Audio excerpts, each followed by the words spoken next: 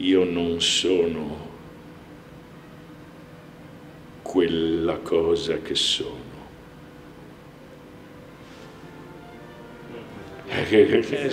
Tu non, tu non sei capace di mentire. Ah, no. Ah, non mi piace. Scusa, cosa hai detto? Cosa ho detto? No, prima stavi dicendo qualcosa, stavo dicendo qualcosa? Sì, dicevi, io ho detto non mi piace, tu hai detto non mi piace, non mi piace. Ma cos'hai? Mi fai l'eco? Così comincia la grande... la, la, la, la, strategia terrificante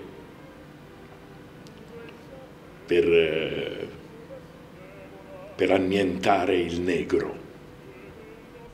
Iago è un personaggio affascinante, interessantissimo perché non è il solito cattivo, il solito villain da melodramma, è un, diciamo che è un, rappresenta la parte oscura di noi, la parte oscura dell'umanità. Shakespeare lo definisce benissimo come uno scellerato, lo definisce con questo termine, uno scellerato, cioè un, un'anima nera, un senz'anima. E, e si riallaccia a un, alt- a un altro termine che Shakespeare usava molto spesso per definire il male, cioè l'universale lupo, una figura che non ha tempo. Infatti, forse più di ogni altra tragedia, eh, Otello può essere un dramma senza tempo, come i drammi, i più grandi drammi della tragedia greca, come Macbeth. Eh, anche Otello non ha una sua collocazione temporale, nel senso che qualunque, in qualunque collocazione lo possiamo vedere bene. E Boito dà una cifra personalissima al personaggio di Iago, perché ne riscrive alcune parti. Per esempio il credo non c'è in Shakespeare. I'm not what I am, io non sono la cosa che sono.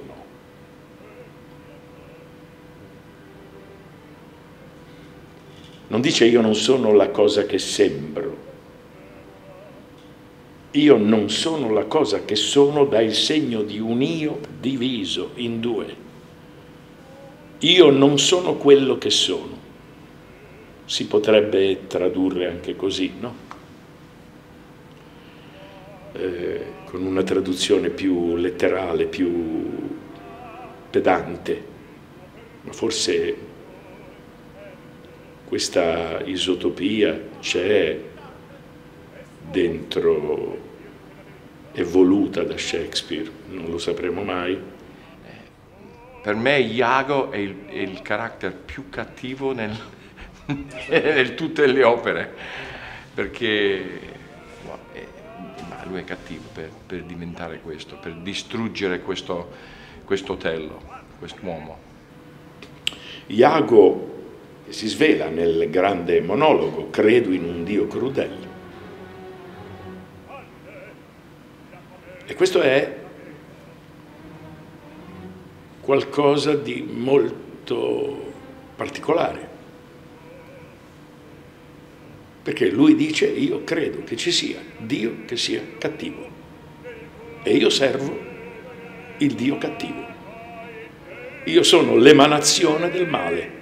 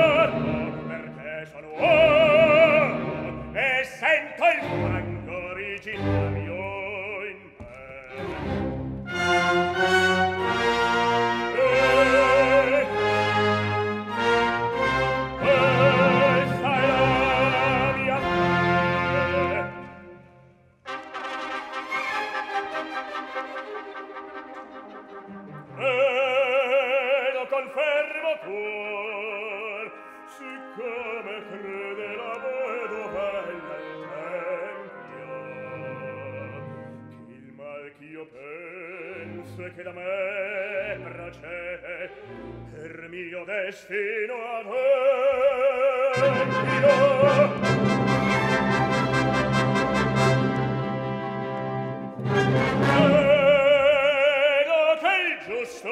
Euristrium beffardo e nel viso e nel cuor che tutta in lui bugiardo lacrima, bacio, sguardo sacrificio e dolor e credo l'uom gioco di quest'or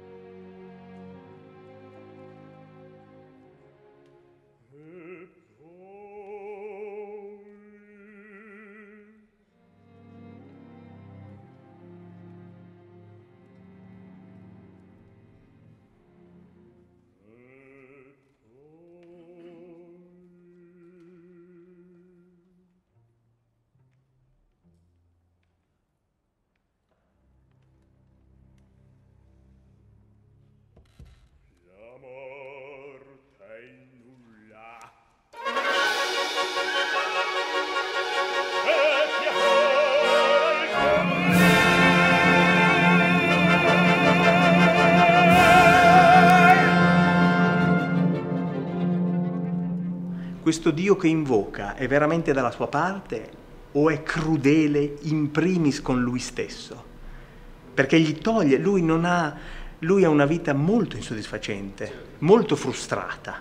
In Shakespeare c'è uno schizofrenico, un personaggio nientificato, reso nulla, niente, da un altro. Perché? Perché l'altro è bello e lui è brutto. Perché Cassio parla bene e lui no. Non è di bella presenza. Quell'altro è di bella presenza.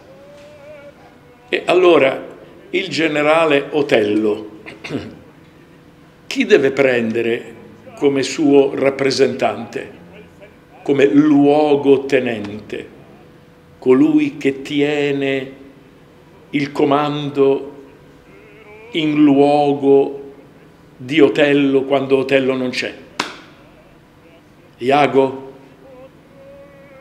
Nessuno gli crederebbe. Non ottiene quello che, che, che desidera e non viene riconosciuta la sua abilità, che pure gli ha dimostrato in cento battaglie ben combattute, non viene riconosciuta e lui non viene promosso. mia donna sarà tua. Ma ascolta benché finga d'amarlo odio quel moro. E una cagion dell'ira eccola guarda. Quell'azzimato capitano usurpa il grado mio, il grado mio, ben cento ben pugnate battaglie ho meritato.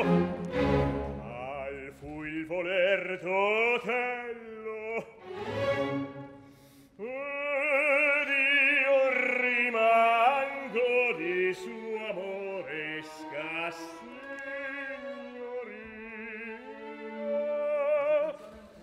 l'alfiere come ver che tu Rodrigo sei. Così è pur vero che se il moro io fossi vedermi non vorrei da torno un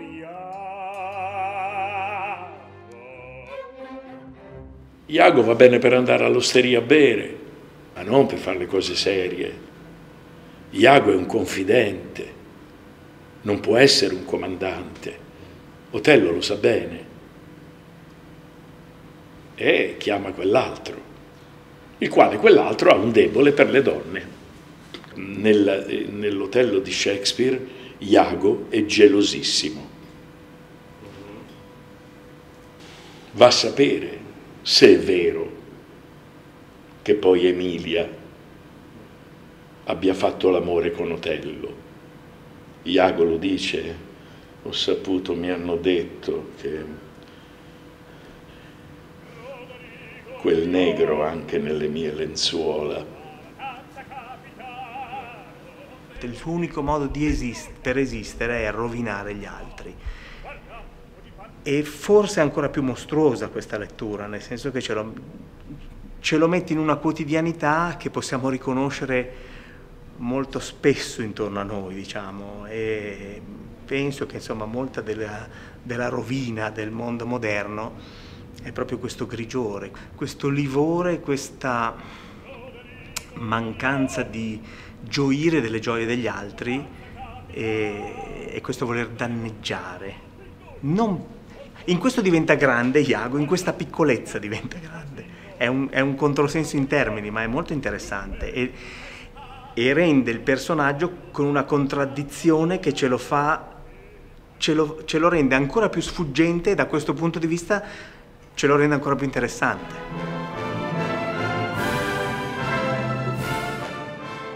Cioè, c'è, una, c'è una visione idealistica della figura di Desdemona. È una donna che, che sembra succube del marito e in realtà poi non è così. Chiaramente è una persona che vive al di sopra delle meschinità, talmente al di sopra che non le può vedere.